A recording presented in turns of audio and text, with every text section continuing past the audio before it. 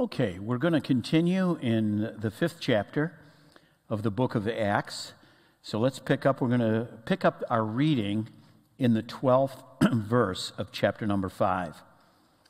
And by the hands of the apostles were many signs and wonders wrought among the people.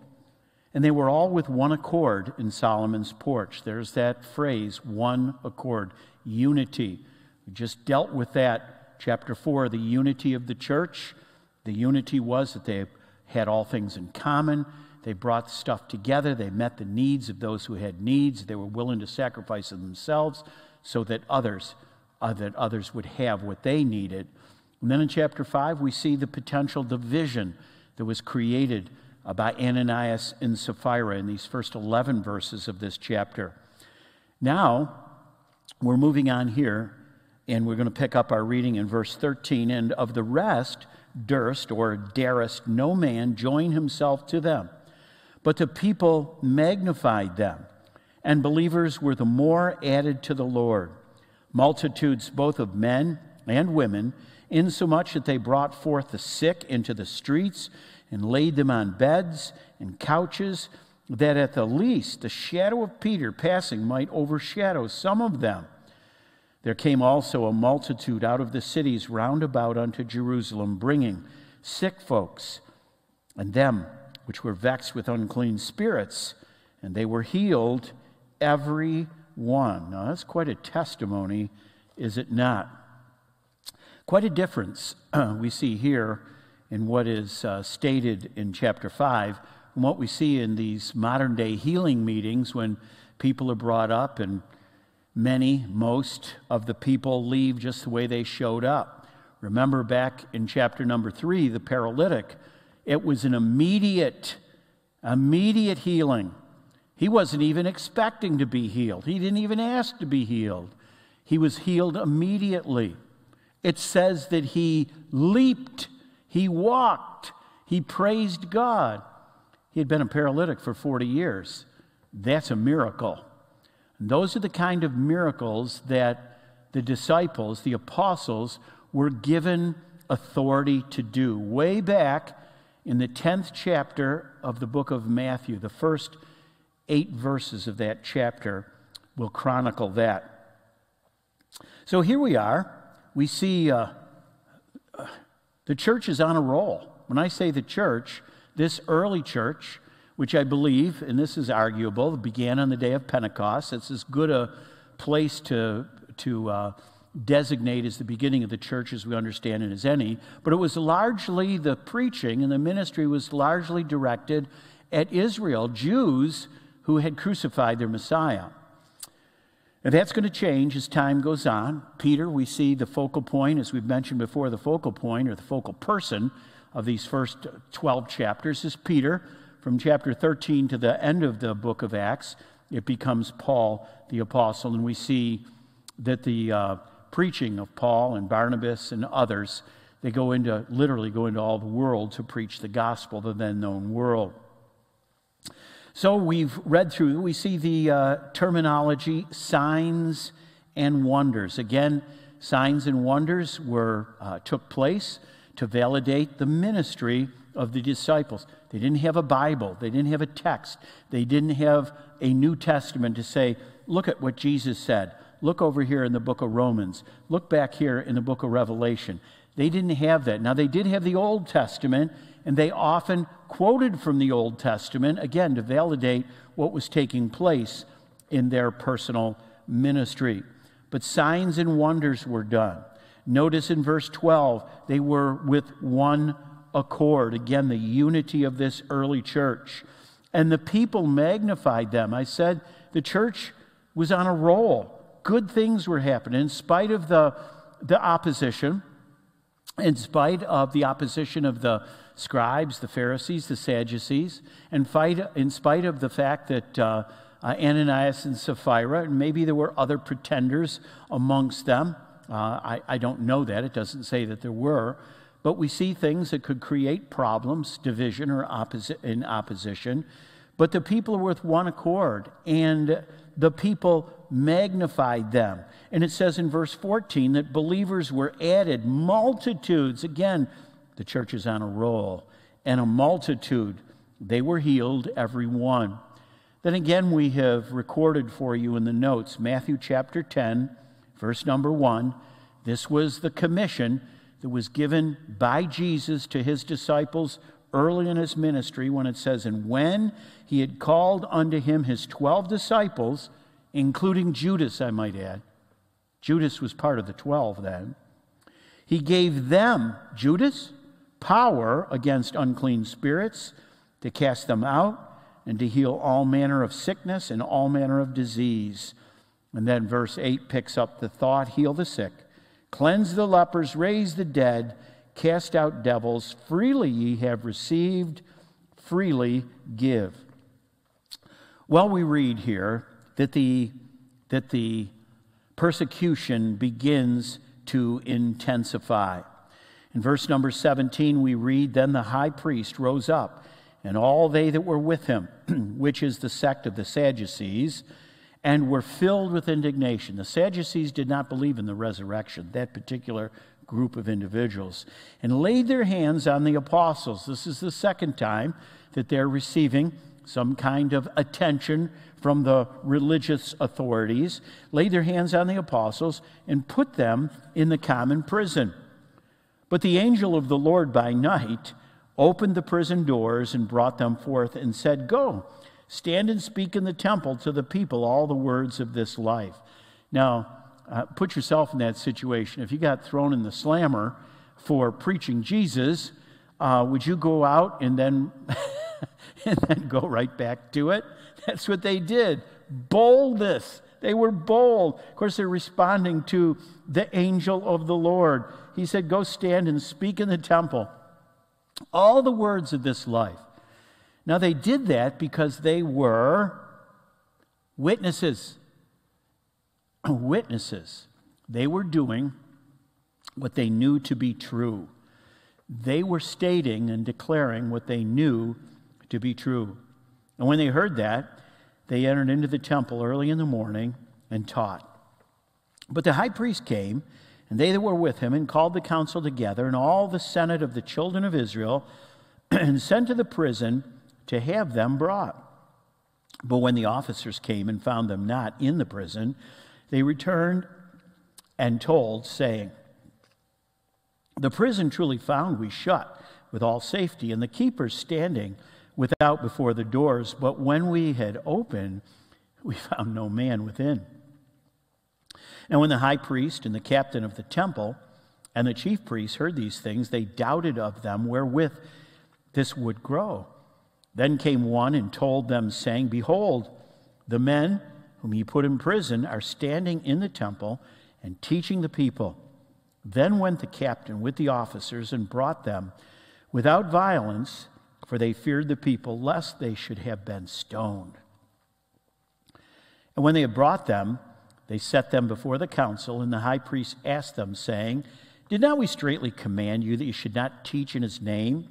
And behold, ye have filled Jerusalem with your doctrine, and intend to bring this man's blood upon us. We pick up here in uh, chapter 5, verse 17. Notice in your notes there, page 82 the high priest. This is uh, Annas. He's made several appearances throughout the New Testament already. Remember that the events that we're reading are very uh, proximate to the life of Christ and to the crucifixion and to the resurrection and the day of Pentecost. These are the earliest days of the church. So, the characters that we're reading about, although we're reading history right now, this is very compressed. This is a uh, just a brief period of time from the birth of Christ uh, before his three year ministry to the time that we're reading the birth of the church as we understand it here in this fifth chapter. We've also made reference to the Sadducees in chapter 23, verse 8. The Bible tells us that the Sadducees say there is no resurrection. They were really offended at the message of Peter and the disciples. They just didn't believe in it. They were elitists, liberal in their theology, probably well to do financially. There are people like this today, certainly in our world. The angel of the Lord, this could be, and oftentimes in Scripture, is a appearance of the Lord Himself, a pre incarnate appearance of the second person of the Trinity, what we call the Lord Jesus Christ. And uh, then, verse tw- number 20, it says, Go stand and speak at the temple. So the angel told them to go and be witnesses, witnesses over and over again and they were to declare all the words of this life. They weren't to keep anything back, they were to tell it as it had been shared and related to them. When they heard that, they entered into the temple and taught, verse 21 says. They were obedient, they did, and they taught, verse 21 of chapter 5, 25, 28, 41. So that was uh, very much part of the uh, early church ministry was witnessing and teaching the truths that uh, to those who would sit and listen to what they had to say. They doubted of them whereunto this would grow. So the officials, verse 42, the officials are concerned, or verse 24, excuse me, the officials are concerned that, you know, the cat is out of the bag here. And they are, the church is on a roll, and they are not ignorant of this they see a larger group of people growing every day of people who are buying into this Jesus stuff, to his resurrection, to the preaching, to the ministry, all verified by signs and wonders. And they're thinking, this is getting out of hand. They didn't know where it would go. Although they knew, they knew this. If it continues to grow the way it's growing now, uh, we're going to be found out. We're going to be in trouble. The religious leaders were concerned that public opinion might rise or might grow against them, and rightly so. And they were accused in verse 28 of filling Jerusalem with their doctrine. Whether this was actually true, the fact is that what they were preaching was very well known, filled. Does that mean that every individual knew the whole story? Probably not. But at the same time, it was common knowledge the crucifixion of Christ, the resurrection of Christ, or supposed resurrection of Christ, the things that took place at Pentecost, the preaching of Peter in chapter 2 and chapter 3 to the nation of Israel, the uh, paralytic, the healing of the paralytic, and even what happened to Ananias and Sapphira. Probably word got out about that. You don't mess with those people. In fact, you might not want to belong to that group of people because they have very high standards like absolute honesty and truth, or you may die. Whether this is an exaggeration or not, I don't know, but the apostles were accused of filling Jerusalem with the doctrine of Christ. Again, that's the central point Jesus, Jesus, Jesus. It's all about Him. Did we not, did not we straitly command you that you should not teach? They're reminded they were told to shut up. Well, that didn't get a whole lot of results, did it? So Peter declares then one of the most powerful verses in all of the New Testament for us as New Testament Christians to identify with Peter's statement here.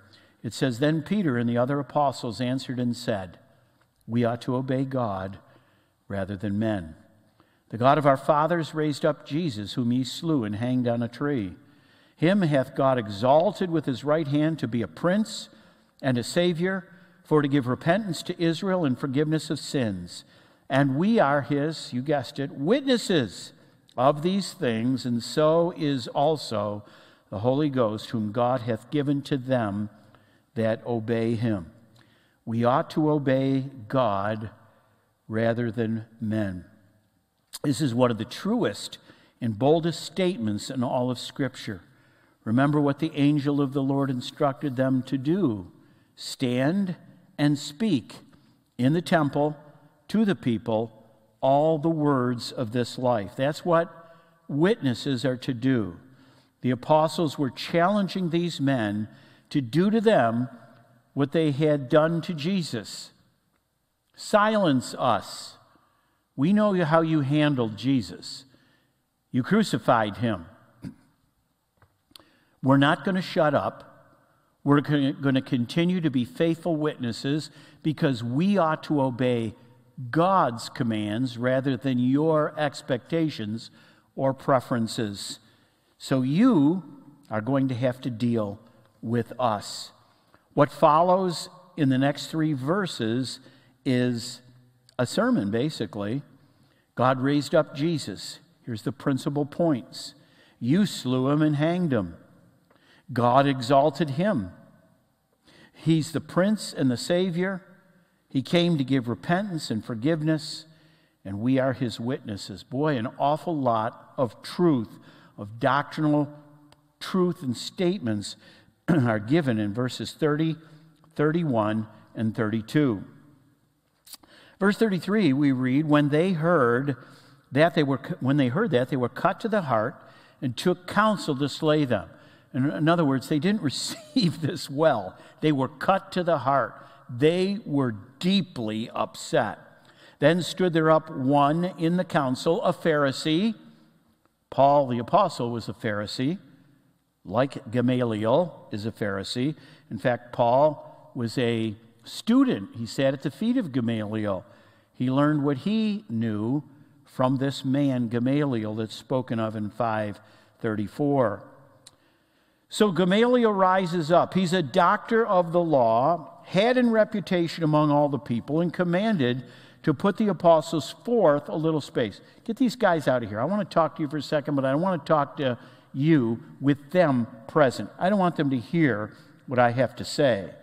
And he said unto the religious leaders these words You men of Israel, take heed to yourselves what ye intend to do as touching these men. This is a touchy set of circumstances. They are on a roll. They have a lot of people subscribing to their beliefs. They are well known. They have filled Jerusalem with their doctrine. And you better be careful how you deal with them. This might cause a backlash against you. That's what Gamaliel is thinking.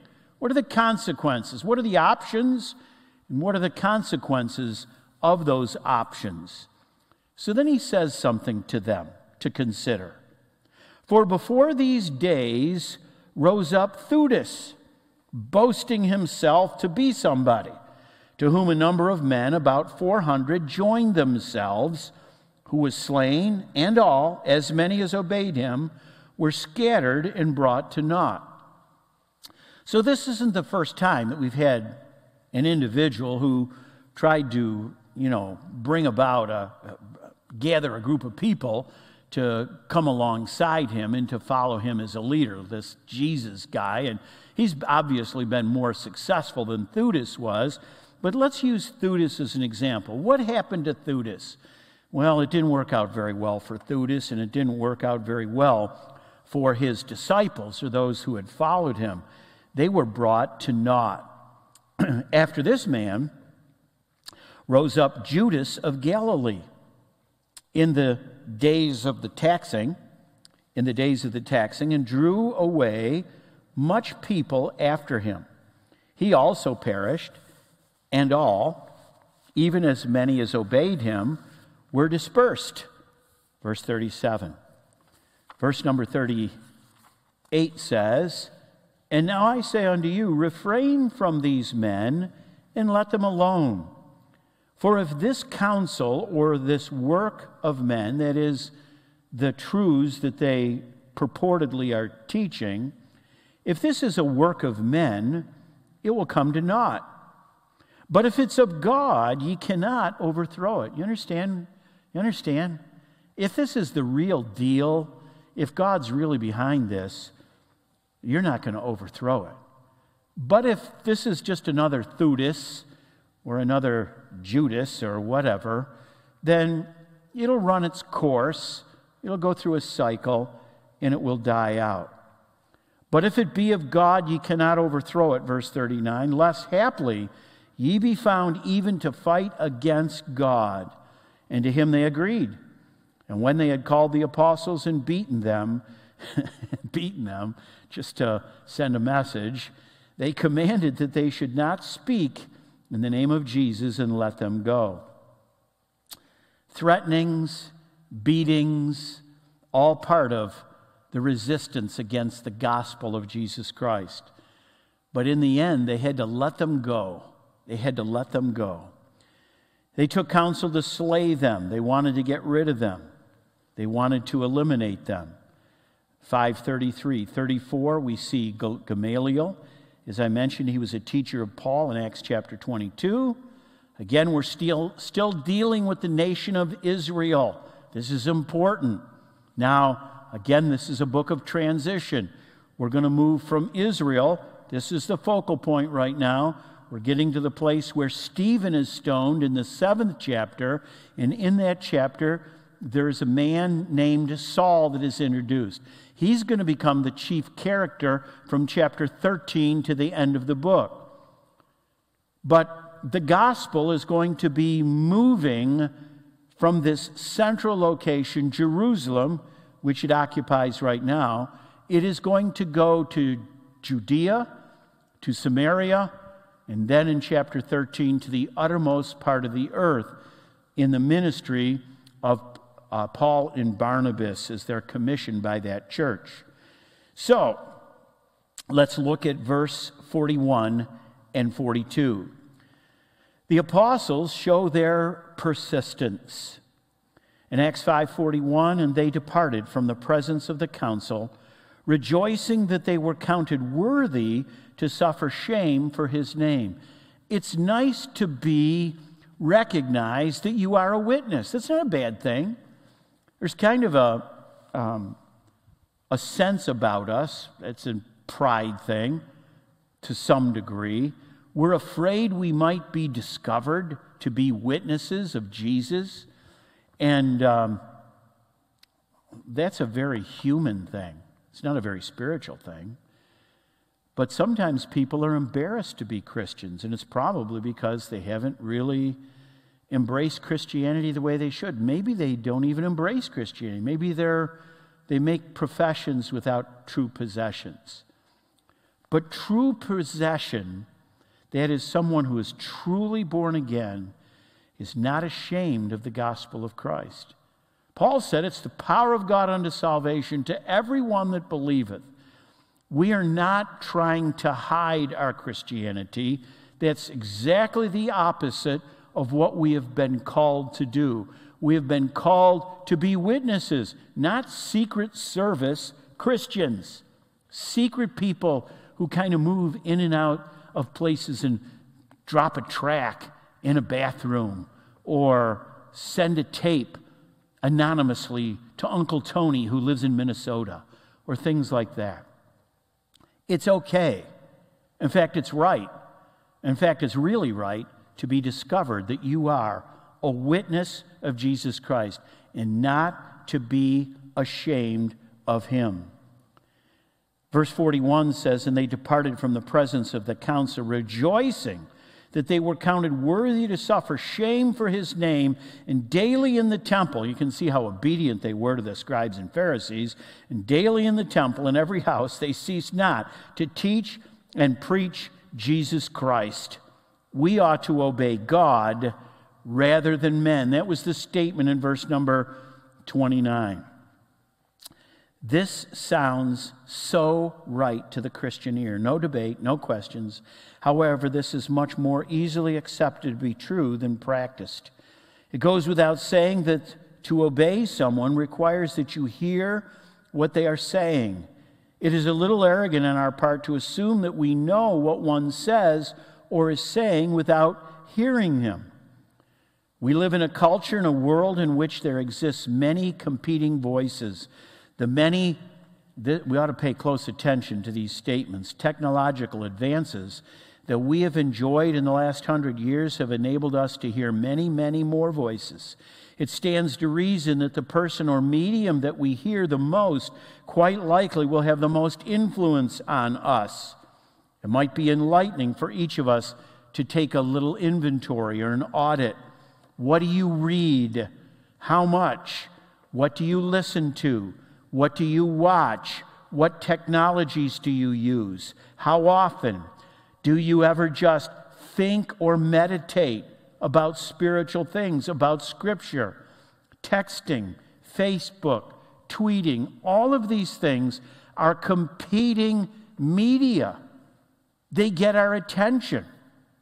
They take us away from Scripture. Now, I mean, you can use your iPad and you can use your computer and you can have your Bible text on there, but is that how you use your iPad? How you use your computer? Is that how you use your phone? Read your Bible when you have a few moments?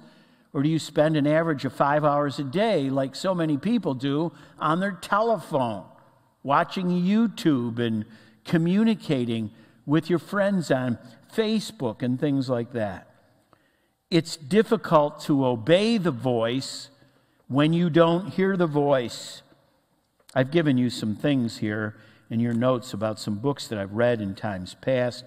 I have no intention of reading them to you, but I picked out some of the important statements from the flyleaves of these, these books that give you the intended purpose for them. I like uh, on page 86, if you'll turn there, and we're going to wrap things up here for the day very, very shortly, maybe five minutes or less. The vanishing word, the back cover of that, is image everything? For many people in our culture, image and images are everything. Americans spend hours watching television, but rarely finish a good book. Words are quickly losing their appeal. Arthur Hunt who is the author of The Vanishing Word, sees this trend as a direct assault on Christianity. He warns that by exalting visual image, imagery, we risk becoming mindless pagans. Our thirst for images has dulled our minds so that we lack the biblical and mental defenses we need to resist pagan influences. This is a good book. I recommend you get a copy and read this. What about paganism? Hunt contends that it never died in modern Western culture. Image based media just brought it to the surface again. Sex, violence, celebrity worship abound in our culture, driving a mass media frenzy reminiscent of pagan idolatry. This book is a clear warning that the church is being cut off from its word based heritage. Whatever became of reading books? When's the last time you read a book? How about a 300 page? How about a 200 page book from cover to cover? When's the last time you did that? When's the last time you read your Bible from cover to cover? This book, that is the vanishing word, is a clear warning that the church is being cut off from its word based heritage and that we are open to abuse by those who exploit the image but neglect the word. Thoughtful readers will find this a challenging call to be critical about the images bombarding our senses and to affirm that the word is everything. You cannot or will not obey what you do not hear. The deaths of Ananias and Sapphira were a grim reminder that the enemy and obstacles of the church were also within. And then there's a list at the bottom of page 86. You can read it for yourself. We obey man when we, and we've given you several examples when we obey men rather than God. Watch what you read, watch what you watch. Be careful of what you put into your mind. If you're going to think like Jesus, you're going to have to spend time being filled with the Spirit of God, letting the words of Christ dwell in you richly, richly, to be the type of curse, uh, Christian and to be the type of person, to be the type of witness that we ought to be. When we come back, we'll go to Acts chapter number 6.